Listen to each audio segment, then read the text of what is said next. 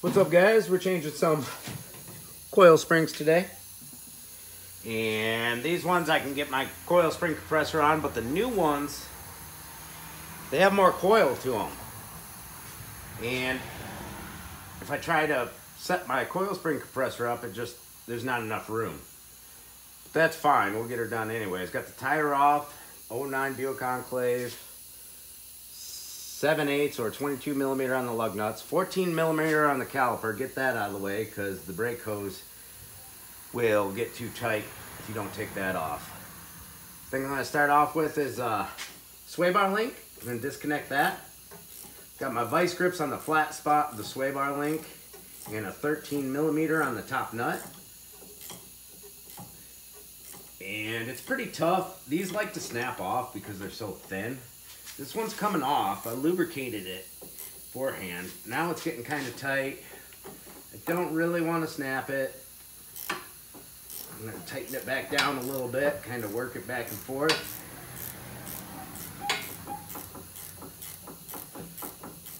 Came off the first few threads pretty easy, and then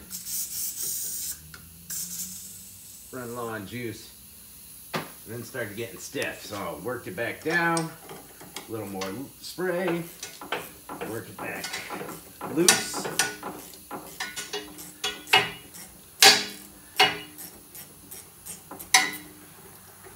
Voila! Working it back and forth, penetrating blaster. Let's go. That's how it's done, son. No snappage.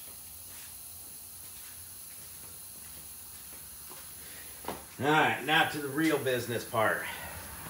We're gonna zip the shock off. We'll need a 21 millimeter wrench here at the bottom, 21 millimeter socket. We'll zip this shock out. Make sure you know where everything goes.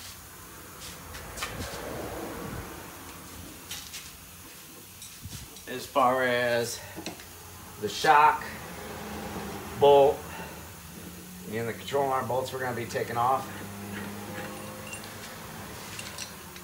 It might be a slightly different length or something like that. I've got this jack supporting the lower control arm. There's a little notch that a board fits in quite nicely. This is a nice heavy duty board here. Shock is zipped off. Is a real light caliper. I'm not worried about hanging it up. All right, now we got this dart control arm in the midsection. It's got this real shallow head on it. It's 21 millimeter. And we'll switch to our 21 millimeter deep well.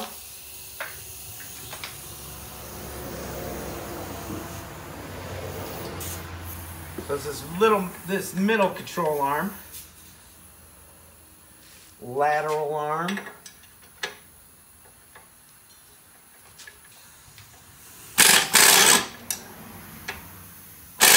It's got this little shallow head on it, which makes it hard to grab with a, with a wrench. You don't want to strip it out. They barely see it. It's just the position they have it in. Sucks.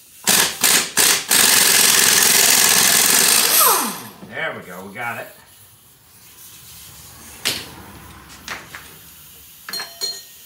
With this board supporting the weight of the vehicle, everything comes apart nicely.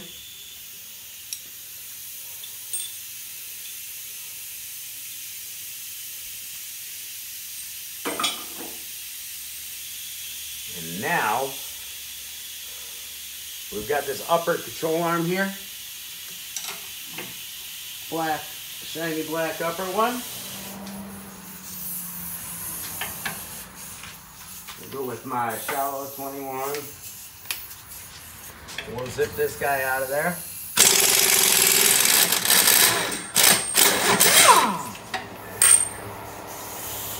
Find that washer just fell down. There it is. Perfect.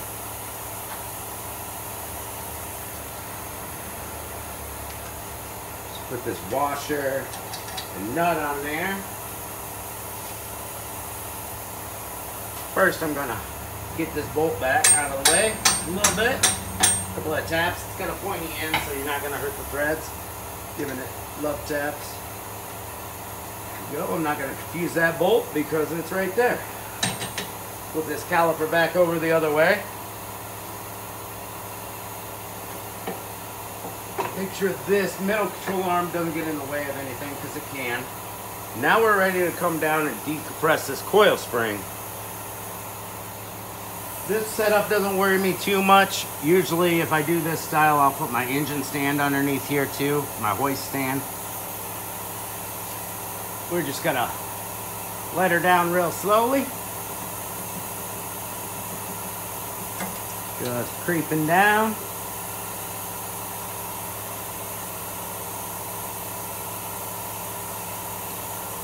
Till it's fully decompressed.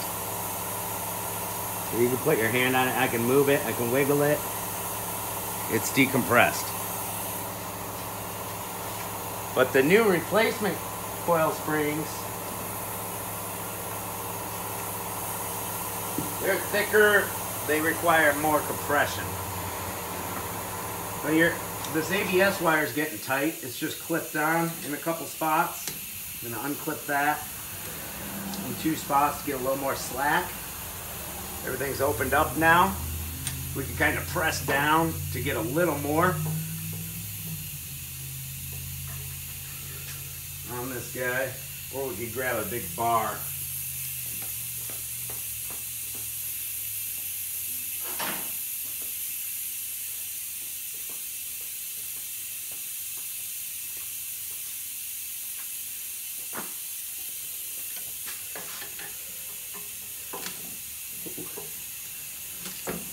Go. Knock all the dust out of that guy.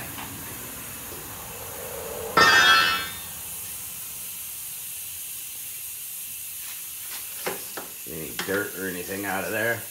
Doesn't look too dirty. It's got this big clump of rust here, surface rust. All right, springs out. Easy peasy, right?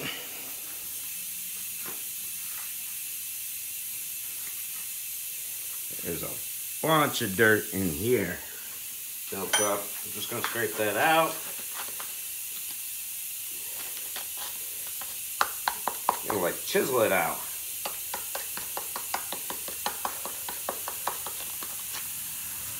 There's a lot.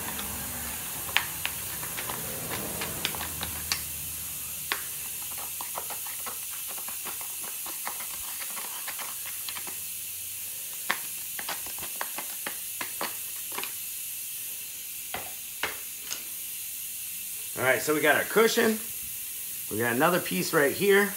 We kind of line up a little bit. We got our cushion here. Wipe the dust out of that. I'm gonna grab my new spring. It's got an extra coil or two on it. Thought I had the wrong part, but there's no up or down on this. They're the same, the spring. All the replacement coil springs I found were exactly the same. We want to put the top in first.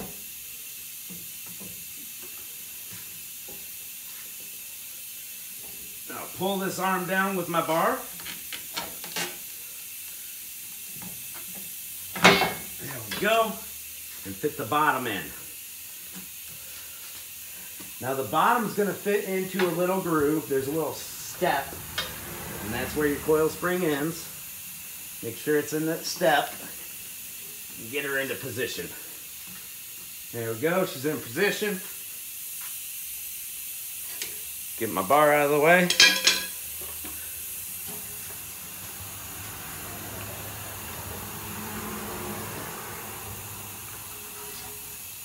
Bring my jack back up where I want it. There we go. And it popped into place on its own, didn't it? Start jacking her up on that spot. That little flat spot.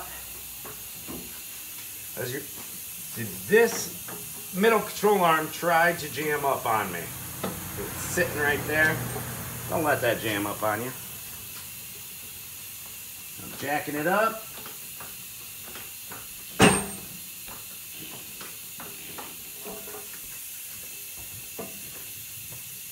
This middle control arm goes on the outside frontward facing part. It's a lot safer to just use a jack on the ground instead of extending the jack with a chunk of wood. I recommend you do that. I don't want you guys hurting yourselves. A little bit more until I can line up this middle control arm. This caliper keeps getting my way. I want to line up this middle control arm and get a bolt started so that all the pressure's not on the jack. Go. We've got our bolt with the really flat nut on the end, hex. And no washer on the inside. The hex works on that, works for that. A lot easier to line this up with a extra pair of hands. I have to make do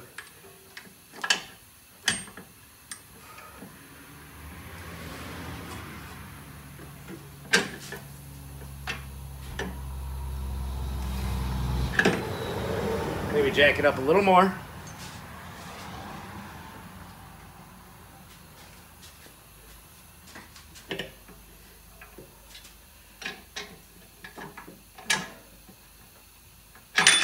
Come on. I'm trying to hold three things with two hands and pressure. Just, it's not working out for me. I'll get it though. There we go. Got the bolt through. Woo!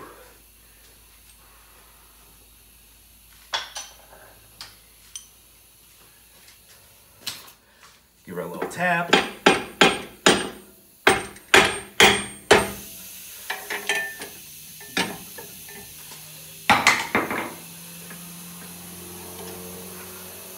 I got enough threads to get the washer nut on now.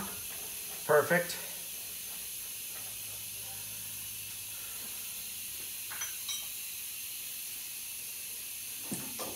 It looks like my strut's pretty much lined, or my, my shock is pretty much lined up. Yep, it's lined up.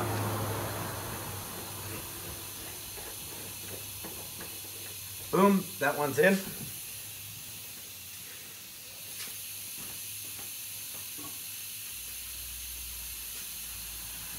Grab us some drinks from Wilson.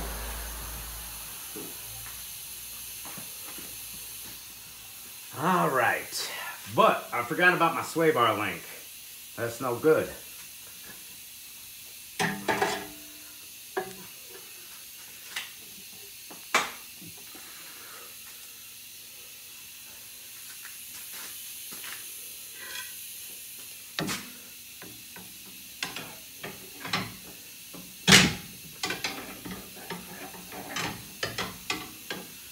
I can get a good pry on something to get this sway bar link.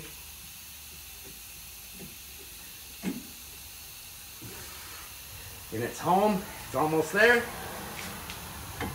Ah, there we go. The sway bar is over the sway bar link now. And we got this long bolt here to connect the upper control arm to.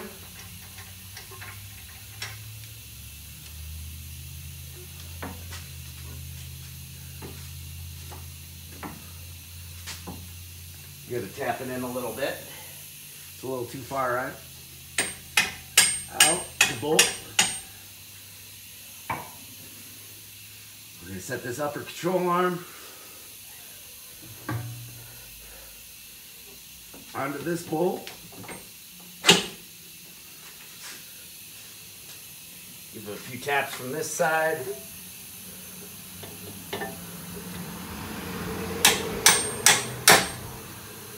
Perfect.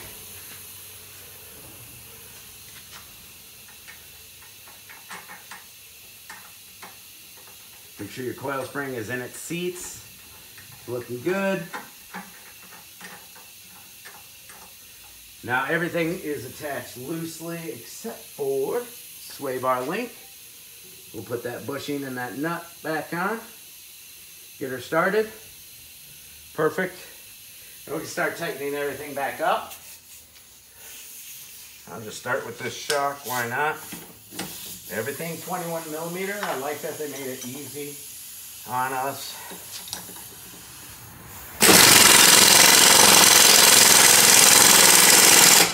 You're gonna want all these bolts nice and tight. Um, there we go. This one. Wrench on one side, back on the other.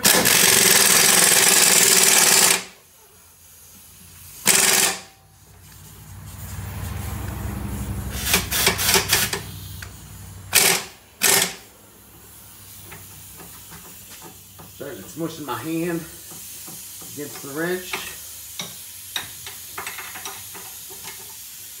Go.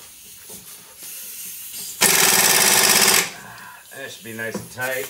I need my deep well 21 for this middle lateral arm, control arm. This is the one you can barely see with a wrench. The other side.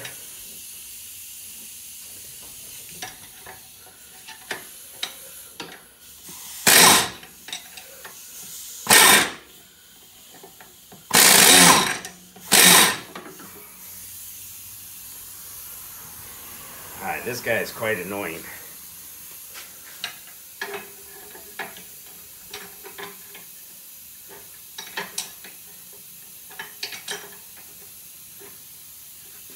I'm going to use a 21 socket with a ratchet.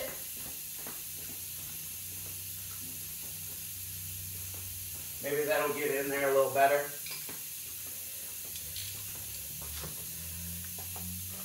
Let's see. See if that helps. Bring it in from this side. Go. Why would they put a shallow head on this bolt? It makes no sense. It's just what they do.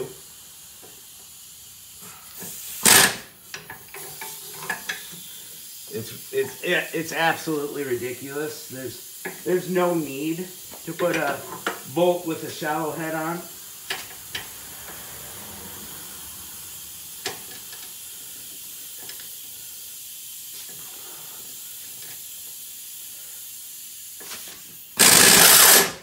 I keep tightening it little by little before it vibrates off.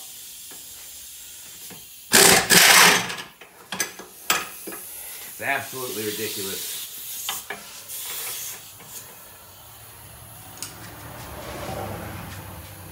It's stuff like this that it seems like the car manufacturers are just trying to make mechanics mad because there's no there's no call for it. There's no there's no reason for it.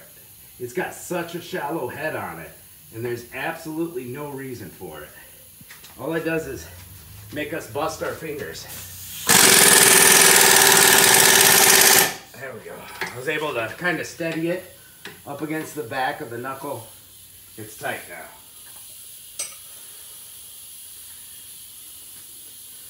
Beautiful. Now I'm going to tighten up the sway bar link. Got my 13 ratcheter here. I don't know where my deep well 13 went. I've had a bunch, lots of them. Slowly lose them. If you put a half inch on there, it's just too tight. You end up having to hammer it off or something. This bolt's so thin. I don't want to mess with it. Anything but the right size. We're going to tighten this until it gets nice and tight and the bushing squeezed together a bit. Don't tighten it up to the point that you're going to snap this long bolt. So this is how you replace the sway bar links. If you want to, if you run into where you have to replace the sway bar link, then this is how you replace it. You got another 13 on the bottom. If you're replacing it, snap that nut right off. Who cares?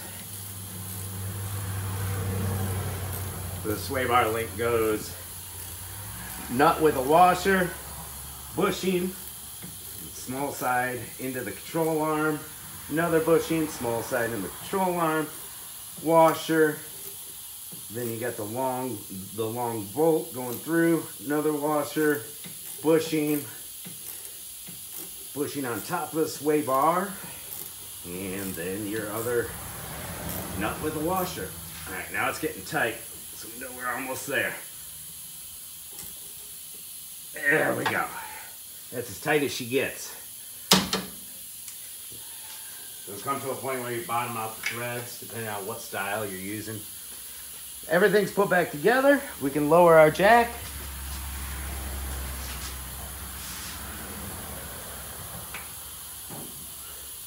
Like I said, it's a lot safer just putting the jack right on the lower control arm.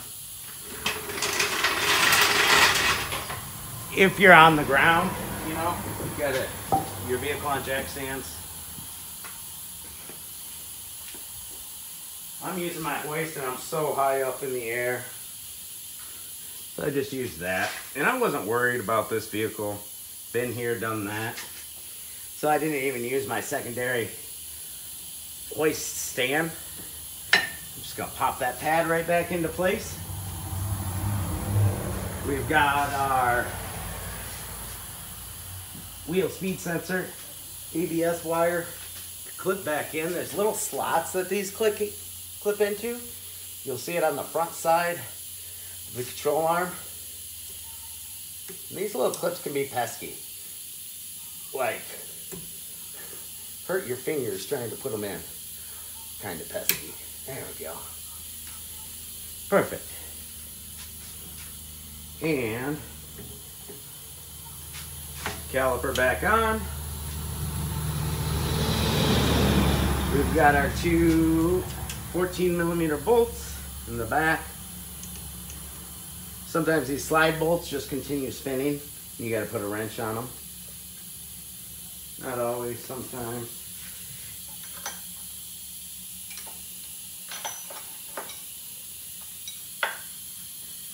Let's see, 14 here.